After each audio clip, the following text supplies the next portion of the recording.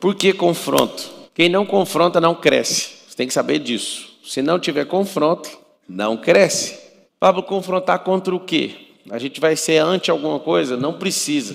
Você precisa confrontar um mecanismo que está dentro da sua cabeça. Esse mecanismo está dentro da sua cabeça. Se ele não for confrontado, vai dar sempre os mesmos resultados ou piores. Como é que a gente faz? Primeira coisa no confronto, para ser um confronto de verdade, é saber fazer perguntas. Tem que perguntar o tempo inteiro, mas por que, que eu penso desse jeito? Por que, que isso é assim? Né? Eu estou amando a política porque estão dizendo o Pablo é ingênuo, mas tem coisas que você tem que bater palma ao contrário para você passar ileso, e as pessoas não entendem isso. O confronto não é gritaria, o confronto não é ficar com raiva, o confronto não é colocar o pé na porta, o confronto é quando você para e pergunta lá dentro: vamos brigar por isso aqui que a gente acredita. Oi?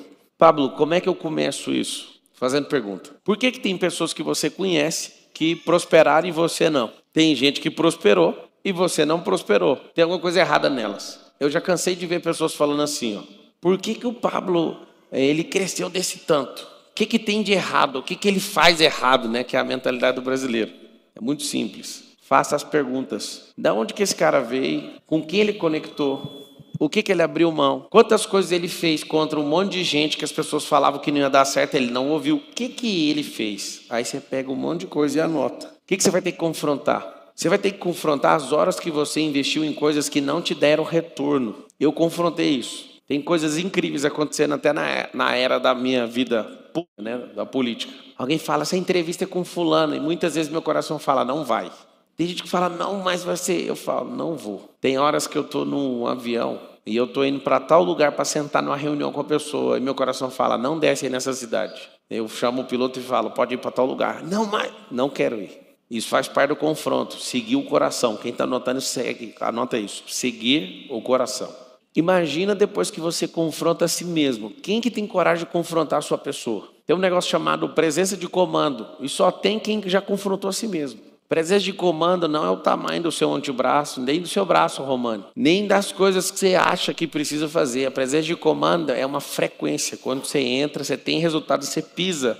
Você sabe quem você é, as pessoas sabem, todo mundo sabe o que pode virar quando você chega. Pablo, por que confrontar? Se você não se confrontou ainda, significa que você está dentro de um sistema que foi desenhado e esse sistema não funciona mais. Essa quebra de monopólio que está acontecendo no mundo nesses últimos cinco anos, tudo que você antes achava que era uma absoluta forma de fazer, só tinha aquela, não, não é assim mais. A igreja que você conhece há milênios, ela mudou. O táxi mudou, as formas de viajar mudou, o livro mudou. Antes, para você ler um livro, você não esfregava a mão numa folha, hoje você encosta num celular. Por isso tem um monte de gente que fala, o celular é do diabo. De falar, o diabo não é dono de nada. Ele é poceiro, ele toma coisa dos outros. O que, que a gente aprende com isso? Se você não confrontar o tempo, você vai ficar ou guardado no passado, ou você vai ficar ansioso lá no futuro. Tem que confrontar o tempo. Quem está anotando, anota assim: ó, preciso confrontar o tempo. Eu preciso renovar minha mente todo dia para confrontar tempo. Senão você fica para trás. Eu amo quando alguém fala, mas você não está seguindo tendência. Quem está seguindo tendência está ligado lá no passado. Quem testa todos os dias e confronta o tempo,